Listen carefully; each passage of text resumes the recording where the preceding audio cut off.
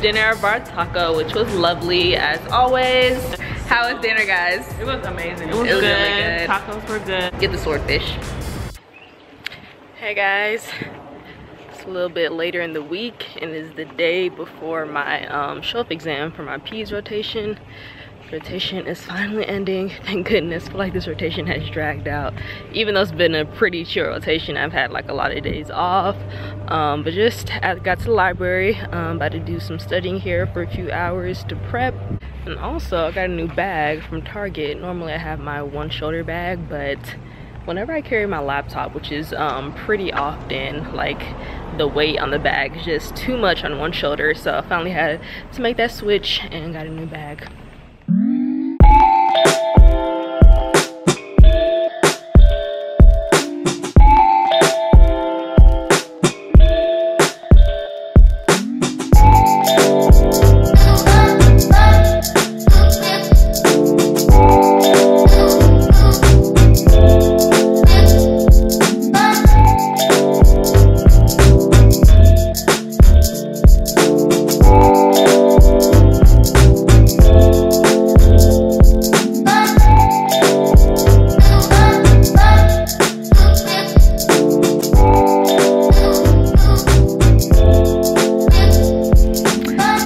pretty good um, morning study session.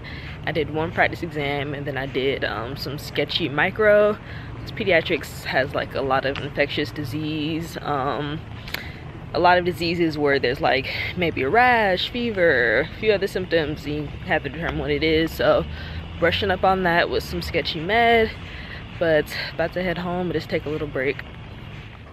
So one of my most frequently asked questions is, you know, how do you manage your time? How are you efficient with your time? And, you know, how do you find time to do things outside of med school? And honestly, it truly is hard to find time to sit down and do other things. And you may think you don't have the time to maybe read a book or do something for self-help and improvement. Well, my first tip for you guys is to minimize social media. Honestly, it's a time sink. And then my second tip is to consider the app Blink, uh, Blinkist. And so what this app is, is an online service that pretty much summarizes books in audio form. So it takes thousands of books and it takes the highlights from it and it puts it into 15 minute intervals so that you can digest all of that information in a short amount of time. So you don't have to sit down and read an entire book, but you can still absorb like valuable information from it. And the books range from things like self-help, motivation, business, technology, and health. So I like Blinkist because I can absorb so much um, information in such a short amount of time. And some of the books that I have in my library include like motivational books, um, how to be efficient, self-help books. And I generally listen to it on my commute. So again, they're like 15 minute highlights and I can li listen to maybe about two or three on my commute. So two books that I recently listened to is Be Fearless as well as um, The Seven Habits of Highly Effective People, which I highly recommend that you guys check those two out. Um, and if you think you'll be interested in this kind of app, I do have a link below. So the first 100 people that sign up will get unlimited access for free for one week. And then also if you uh, use that link, you get 25% off premium content. All right guys so make sure to check out that if you're interested. The link is going to be in the description box. Um, i'm just going to go ahead and finish up my study day and i'll catch up with you guys on exam day. And exam is done. Honestly it wasn't so bad 110 questions. Pediatrics is over. Definitely takes a special kind of person to treat sick kids. Um, not sick kids in the sense of oh cold runny nose or something like that but like sick kids who are in the in the hospital dealing with a lot of different issues. Um, overall it was a great rotation though. And now uh, I have this next week off and what I'll be doing is preparing for a step 2 CS which I take next Friday um, on the 30th so I've already talked about um, my previous vlog what Step 2 CS consists of. It's like the clinical patient encounter exam um, that you take. It's two parts of Step 2, that and the actual multiple choice exam. So I'm taking a clinical exam next Friday. So I have this um, next full week off to prepare. I've been preparing, um, you know, throughout this rotation little by little. Uh, I mentioned before that this is the book that I'm using. I've gotten through this whole book uh, so far. It has 44 cases in there half the cases um, I did just going through on my own, then half of them I did practicing with um, Stanley like as my practice patient. And there's a big difference between like doing it on your own and having the real simulation of a patient. So um, yeah, if you can like get a classmate or somebody to practice with, that would be the best thing. But over the next week, I'm gonna try to get through all the cases one more time.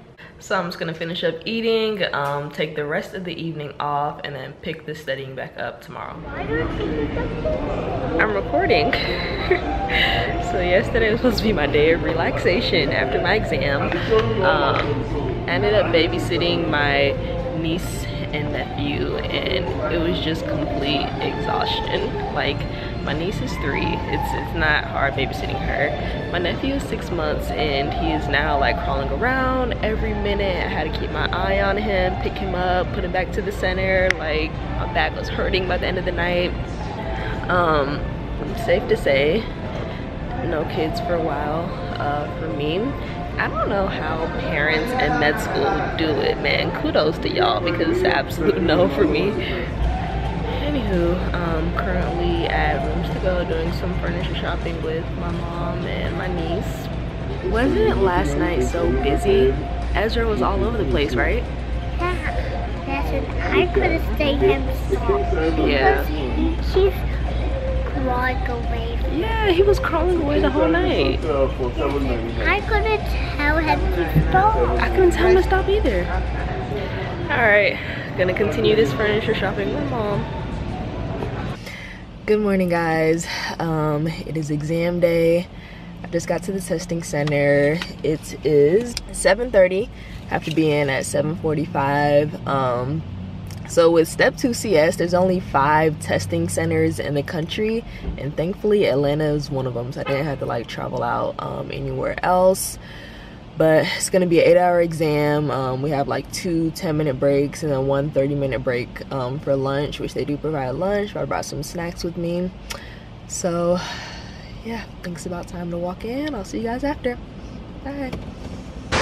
So I just finished. Um, as you can see, we have to cover our name tag and what school we're from. But my initial thoughts is I think I passed. There's definitely like some ones that threw me off. There's about three tricky cases on there. Um, but the day went by super, super fast.